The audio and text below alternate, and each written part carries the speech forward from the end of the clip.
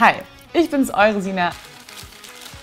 Und ich heiße euch herzlich willkommen hier zur neuesten Folge von Novitas BKK. Wie geht's? Heute zeige ich euch, wie man einen Beipackzettel faltet. Wir kennen das alle, wir nehmen ihn raus, haben alles Wichtige gelesen. Aber wie bekomme ich den jetzt wieder ordentlich in die Packung zurück?